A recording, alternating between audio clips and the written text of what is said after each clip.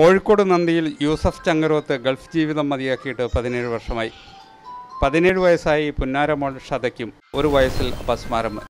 പക്ഷേ ഇതിനെയെല്ലാം മറികടന്ന് യൂസഫ് സാമൂഹ്യ ജീവിതത്തിന്റെ മറ്റൊരു ഘട്ടത്തിലേക്ക് കടന്നു. Rett syndrome R E T T S Y N D R O N symptoms ഇത് നേരത്തെ A S T autism spectrum ഡിസോർഡറിന്റെ അണ്ടറിലായിരുന്നു വന്നത്. അപ്പം ഓട്ടിസത്തിന്റെ കുറേ ഫീച്ചേഴ്സ് ഉണ്ട്. പിന്നെ ഒരു കോംപ്ലക്സ് ന്യൂറോ ഡെവലപ്മെന്റൽ ഡിസോർഡർ എന്നാണ് ഇപ്പോൾ പറയുന്നത്. അപ്പോൾ അത് ഈ വിഭാഗത്തിൽപ്പെടുന്ന അധിക കുട്ടികളും തീരെ സംസാരിക്കില്ല. വളരെ അപൂർവമായിട്ടേ സംസാരിക്കുന്ന കുട്ടികളുള്ളൂ. പിന്നെ കൂടുതലും ഒരു തൊണ്ണൂറ്റഞ്ചിൽ അധികം ശതമാനം പെൺകുട്ടികൾക്ക് മാത്രമേ ഇതുണ്ടാകുക അപ്പം പിന്നീടാണ് ഞാൻ നാട്ടിൽ വന്നതിന് ശേഷം എനിക്ക് ചെറുപ്പത്തിലെ ഒരു ഹോബി ഉണ്ടായിരുന്നു. ഈ പത്ര കട്ടിങ്ങുകളൊക്കെ പിന്നെ ഇങ്ങനെ വെട്ടി വെക്കുന്ന ഒരു ഹോബി അല്ലെങ്കിൽ സ്റ്റാമ്പ് കളക്ഷന് പണ്ട് ചെറുപ്പത്തിലുണ്ടാവില്ല ചിലപ്പോൾ തീപ്പെട്ടി അങ്ങനെയൊക്കെയുള്ള ആ ഒരു ഹോബീസ് ഉണ്ടായിരുന്നു. പക്ഷെ മോൾ വന്നതിന് ശേഷം ഞാനിങ്ങനെ ഈ ഒരു ഭിന്നശേഷി അവളൊരു ഭിന്നശേഷിക്കാരിയാണെന്ന് തിരിച്ചറിഞ്ഞ ഓട്ടിസം ആണെന്നൊക്കെ തിരിച്ചറിഞ്ഞതിന് ശേഷം അപ്പോൾ സ്വാഭാവികമായിട്ട് ഓട്ടിസത്തെക്കുറിച്ചൊക്കെയുള്ള മലയാളത്തിൽ എന്തെങ്കിലും പുസ്തകങ്ങളൊക്കെ അന്വേഷിച്ചപ്പോൾ അങ്ങനെ കൃത്യമായിട്ടൊന്നും കിട്ടിയില്ല.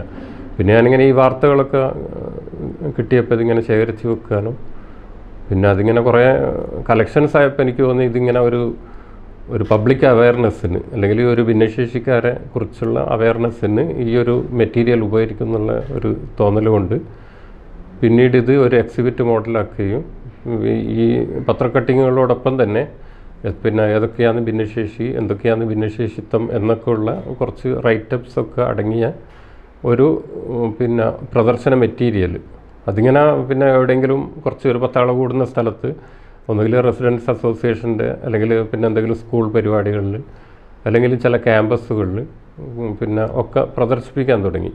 ഇപ്പോൾ ഇരുപത് R P W D act അനുസരിച്ച് ഇരുപത്തൊന്ന് തരം ഭിന്നശേഷിത്തുണ്ട് അപ്പോൾ ആ ഭിന്നശേഷിക്കാർക്കെല്ലാം പല രീതിയിലുള്ള റൈറ്റ്സ് ഉണ്ട്.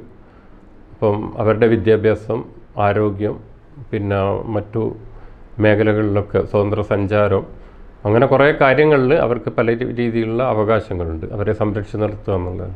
അപ്പോൾ ആ റൈറ്റ്സിനനുസരിച്ച് ഗവൺമെന്റ് പോളിസികളൊക്കെ കൃത്യമായിട്ട് നടക്കുന്നുണ്ടോ? അല്ലെങ്കിൽ അതിനുവേണ്ടി ഞങ്ങൾ ശബ്ദമുയർത്തുക? അപ്പം എന്റെ തന്നെ അനുഭവം എന്ന് പറയുന്നത് ഇപ്പം കൊയിലാണ്ടി നെസ്റ്റിൽ പോകണമെങ്കിൽ തന്നെ പിന്നെ ഒരു വൺ വേ നൂറ്റമ്പത് രൂപയായിരുന്നു നമ്മൾ നേരത്തെ കൊണ്ടുവരുന്നത്. അപ്പോൾ ഇപ്പോൾ രണ്ട് സമയം കൊണ്ടുപോകണമെങ്കിൽ ഇരുന്നൂറ് റുപ്യ. ഇപ്പോൾ റോഡിന്റെ പണി നടക്കുന്നതുകൊണ്ട് അത് ഇരുന്നൂറാക്കിയിട്ടുണ്ട്.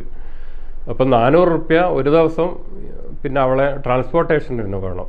അപ്പോൾ അങ്ങനെ മൂന്ന് ദിവസം നമ്മൾ തെറാപ്പിക്ക് കൊണ്ടുപോകുകയാണെങ്കിൽ തന്നെ ആയിരത്തി ഇരുന്നൂറ് റുപ്യ അല്ലെങ്കിൽ മാസത്തിൽ നാലായിരത്തി എണ്ണൂറ് പിന്നെ അവളെ മെഡിക്കേഷൻ ഇപ്പം ഞാൻ നേരത്തെ പറഞ്ഞ പോലെ അഞ്ച് തരം മെഡിസിൻ കൊടുക്കണം. അപ്പോൾ ആ മെഡിസിന് ഒരു പത്ത് മൂവായിരത്തഞ്ഞൂറ് റുപ്യോളം വരും. പിന്നെ അതേപോലെ തന്നെ അവളിപ്പോഴും ടോയ്ലറ്റിംഗ് ഒന്നും കൺട്രോൾ അല്ലാത്തത് കൊണ്ട് ഡയപ്പേഴ്സ് നമ്മൾ ഉപയോഗിക്കണം. അതിന് മാസത്തിൽ ചിലപ്പോൾ ഒരു പിന്നെ പത്തറുപത് ഡയപ്പേഴ്സൊക്കെ ഉപയോഗിക്കണം. അപ്പോൾ അതിനൊരു ആയിരത്തഞ്ഞൂറ് റുപ്യൊക്കെ അതും ഏതൊരു അച്ഛനായാലും പിന്നെ കാക്കക്കും തൻകുഞ്ഞ് പെൺകുഞ്ഞ് ആണല്ലോ.